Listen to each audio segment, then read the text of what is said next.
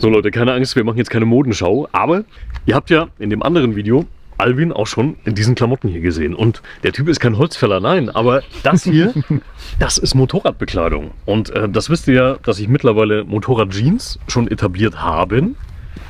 Wir haben hier auch nochmal ein Modell mitgebracht. Also die gibt es nicht nur in klassisch blau, nein, die gibt es auch in schwarz. Und wichtig ist, dass das immer zertifizierte Motorradbekleidung ist. Bei den Jeans kommt es darauf an, dass natürlich Knieprotektoren drin sind und dass ihr in der Hüfte zumindest welche nachrüsten könnt, wenn vielleicht von Haus aus auch noch keine dabei sind. Das Hemd, das Alvin da trägt, wir haben hier nochmal eins dabei, das ist Motorradsicherheitsbekleidung. Das heißt, auch hier sind Protektoren in den Schultern drin, genauso in den Ellenbogen. Alvin hat hier schon einen Rückenprotektor nachgerüstet. Wir haben das hier nochmal in der Rohfassung.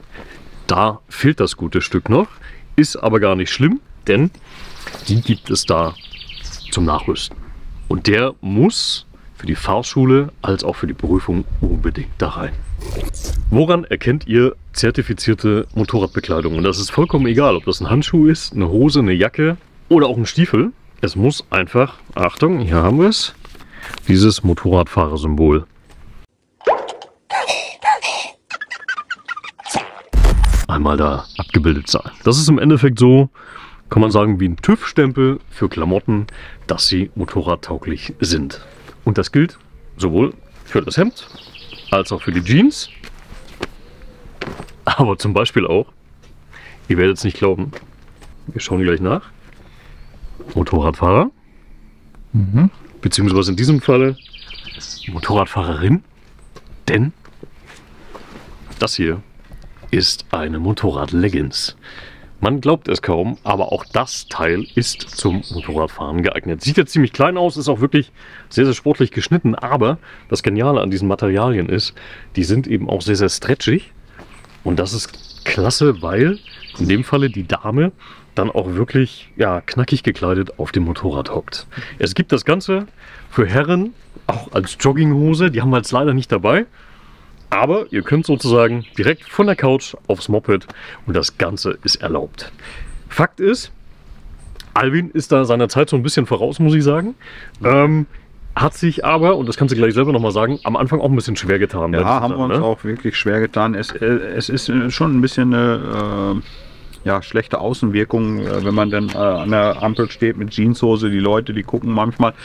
Ähm, wir hatten auch schon mal Situationen, dass Kollegen meinten, äh, was machen die denn da, bilden in Jeanshose aus äh, und das dann auch Prüfer mal zu den Kollegen dann gesagt haben, äh, du, äh, das kann ich mir bei denen nicht vorstellen. Das sind mit Sicherheit zertifizierte Schutzkleidung ne, mit äh, abriebsfesten äh, Klamotten unter, unter ähm, Sachen verstärkt und so weiter. Ähm, und da legen wir schon großen Wert drauf, dass das alles vorschriftsmäßig ist. Ne? Aber, und das ist halt einfach das Wichtige, es hat sich da sehr, sehr viel im Bekleidungssektor entwickelt. Und das heißt, nicht jeder Fahrlehrer, also allgemein ges gesprochen nicht jede Fahrschule, weiß über diese Entwicklung Bescheid. Das heißt, klärt doch bitte auch im Vorfeld ab, darf ich damit bei euch fahren? Aber auch, wird der Prüfer das akzeptieren? Das ist noch umso Das, wichtiger. das, das muss er unterm Strich, äh, wenn es CE-zertifiziert ist. Ja? Okay. Und das kann man ja zeigen äh, und äh, dann gibt es auch keine Schwierigkeiten. Ähm, das, das würde ich auf jeden Fall äh, machen. Ähm, klar tun sich da einige schwer mit, habe ich mich, wie gesagt, am Anfang auch sehr schwer mitgetan.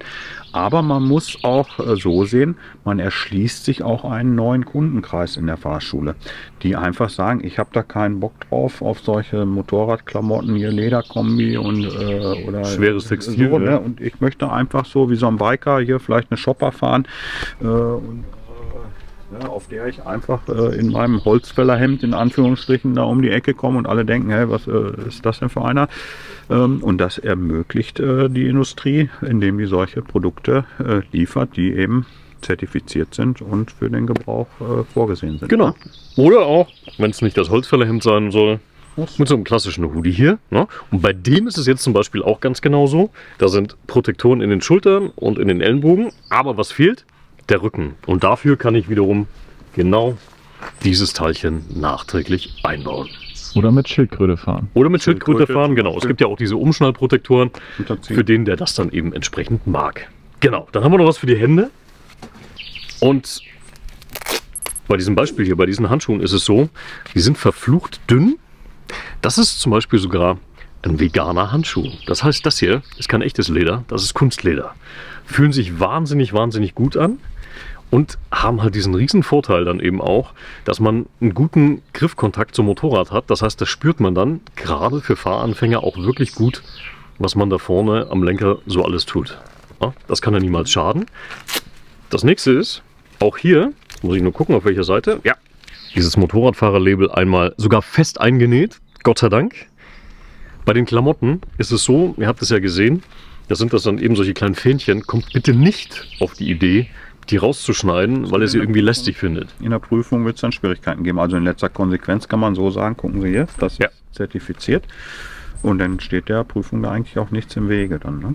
Das also wenn, wenn, die, wenn die Klamotten eng anliegend sind, natürlich, wenn das jetzt wie ein Kartoffelsack ist und äh, Das darf wie auch im nicht Winter, sein. das darf natürlich nicht sein. Ne? Genau. Das muss schon passend sein. Aber es gibt eben auch, wenn ihr dann den Motorradführerschein habt äh, und unterwegs seid, es gibt auch Länder, die wollen unter Umständen bei einer Verkehrskontrolle auch wirklich sehen, dass es zertifizierte Motorradbekleidung ist. Und wenn ihr das rausgeschnibbelt habt, ja, dann ist das auch doof. Okay, für die Hände haben wir jetzt auch was. Und jetzt kommt es noch zum Thema Schuhe. Alvin hat das ja auch schon mal erwähnt heute. Ähm, so richtige geniale Motorradstiefel sind natürlich das Nonplusultra, aber für diesen vielleicht etwas jugendlichen Kundenkreis oder für die, die mit dem Motorrad zur Arbeit fahren und dann auch nicht wechseln möchten und den ganzen Tag dann Motorradschuhe tragen möchten, die aber nicht nach Motorradschuhen aussehen, gibt es auch sowas hier. Alvin ist da ein bisschen kritisch aus einem bestimmten Grund. Sag mal. Ja, also die, die sehen ja erstmal so ganz nett aus. Man kommt vielleicht nicht drauf, dass das Motorradstiefel äh, sind. So, wenn man es anfasst, merkt man schon, dass es stabiler gebaut ist. Mm, Die Problematik, die wir da so sehen, ist halt in der, in der Ausbildung, wenn man jetzt die Schnürsenkel hier außen so ähm, hat und, und würde jetzt, das war jetzt der falsche Fuß, aber wir nehmen einfach mal an hier. Ähm, und man, man steigt vom Fahrzeug ab und das, äh, das bleibt jetzt hier irgendwo im, im Schalthebel oder Bremshebel auf der anderen Seite hängen und man kommt jetzt mit dem Fuß nicht auf den Boden oder fällt dann um. Äh, das ist natürlich schon äh, nicht ganz ungefährlich. Hier müsste man schon äh, sehen, dass man das irgendwo so zumacht, dass, dass die nach innen hin verschwinden und man nicht, nicht Gefahr läuft. Ähm, das würde auch in den Prüfungen Schwierigkeiten geben. Äh, Das äh, würde ein Prüfer monieren äh, und dann dürfte man nicht fahren. Ne? Äh, Das ist einfach zu äh, unfallträchtig. Ne? Ähm, kann man aber, aber sicherlich lösen, indem man das reinmacht. Äh, ich glaube, ihr hattet noch ein anderes Paar mit, das gefiel mir besser. Das Ähm, gefiel dir auf jeden Fall besser, genau. da- da- Das äh, gibt auf jeden Fall eher einen Daumen hoch, sag ich mal. Von der Optik äh, kann ich das schon verstehen, dass einige sowas bevorzugen, aber dann auf jeden Fall darauf achten. Und hier ist das natürlich super gelöst, ne? äh, dass hier eine Schlaufe drüber ist und, und man nicht Gefahr läuft, dass die ähm, Schnürsenkel äh, da irgendwo hängen bleiben. Und die sind natürlich auch ein bisschen hier ausgeprägter, dass das im Endeffekt, ähm, wenn man das hier äh, ein paar Mal geschaltet hat und so weiter, ich, ich glaube, dass das schon auf, auf Dauer dann nicht mehr ganz so schön aussieht da. Ähm, aber sicher, sicherlich für den Anfang ist ja mal auch eine Preis-Leistungs-Frage. Ähm, Ich glaube, der ist wesentlich teurer als der, Ja. oder? okay. da geht es echt nur eher um die Optik wahrscheinlich. Ja, genau. Ähm, nur, nur da müsste man eben halt aufpassen. In, in letzter Konsequenz könnte man hier auch mit so einem Panzerband oder Klebeband arbeiten, dass, dass das eben abgedeckt ist und man da wirklich nicht Gefahr läuft, dass die Schnürsenkel da äh, rauskommen. Aber ansonsten gefallen die mir eigentlich ganz gut. Deswegen haben wir einfach mal stellvertretend hier zwei verschiedene Paare dabei. Natürlich der eine, der glänzt mit seiner Optik natürlich auch. Und äh, am Ende habe ich ja als Motorradfahrer vielleicht auch nicht nur ein paar Stiefel, sondern ein paar mehr. Und dann suche ich mir das dementsprechend raus. Aber es entwickelt sich eben weiter und man kann heutzutage wirklich freizeitmäßig auf dem Motorrad hocken. Ja. Und auch bei Alvin ist es angekommen und er hat es ein bisschen abgesegnet, das finde ich gut. Ja. Und dementsprechend schaut euch bei Luis um, was wir so lockerleichtes fürs Motorradfahren haben. Vielen Dank.